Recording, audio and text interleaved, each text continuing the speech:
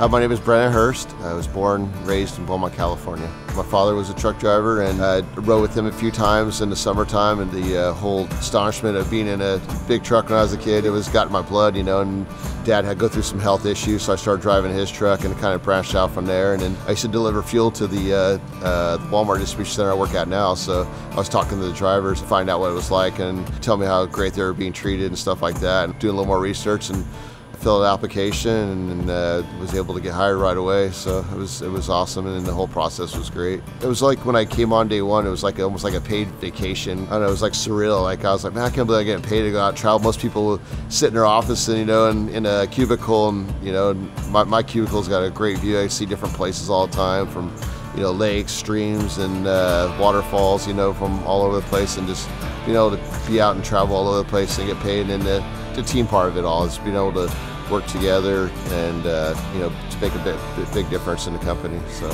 I've gotten phone calls and like, hey, would you like to come back? I said, no, I'm, I'm pretty happy here at Walmart. I love the way I'm being treated, you know, and uh, they, they take care of us. We all try to help each other out, and that's that team camaraderie I like it. Walmart.